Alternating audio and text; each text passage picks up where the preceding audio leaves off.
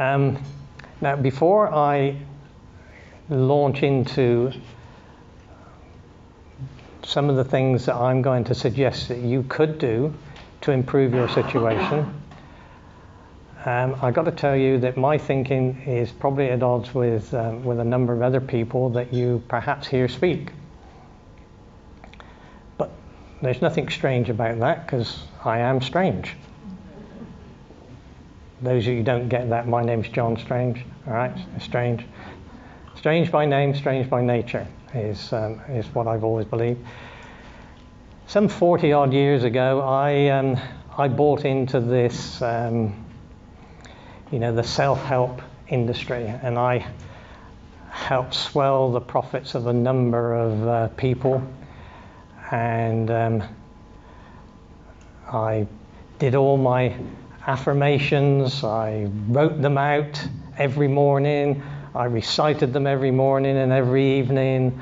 Um, I even bought into a system where you had a tape recorder and you actually recorded your affirmations over some classical music that was designed because it had a particular uh, beat to it that made it more um, available to your subconscious brain to help you achieve.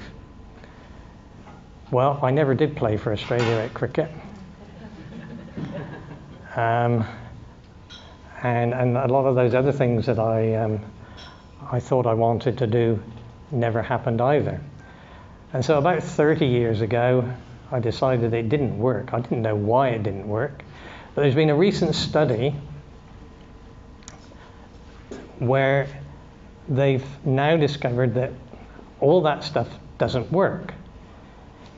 It works for some people, but those people would have achieved those objectives anyway. So, in other words, if you were going to get it done anyway, then all those affirmations and the rest of it would have worked for you. But for the rest of us mere mortals, it doesn't work. But what they have discovered is that if we focus upon the process and keep visualizing if that's if that works for you i'm not a visual sort of a person. I i tend to hear things more but some people like my wife she sees all the elephants in the clouds i never see them you know i'm not a visual sort of a person but she is she can see the elephants and the giraffes and and all the rest of it. So if that works for you, then visualize going through a process. Um, those of you that watch golf, sorry about that, um, but if you watch golf and you watch a golfer step up to a shot,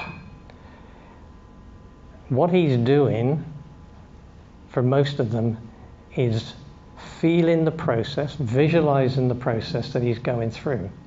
He's not visualizing the ball plopping into the hole, I don't believe.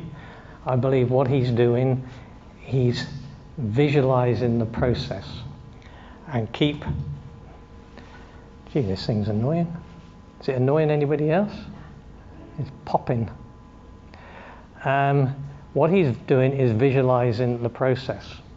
Now, once I discovered this, it made life very easy for me because I'm an engineer. I'm all about process and following strategy. And so, therefore, I found that if I could concentrate on the process and the systems,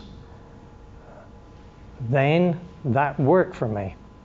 I could affirm and sit there and meditate and visualize till the cows came home, and it didn't do me any good.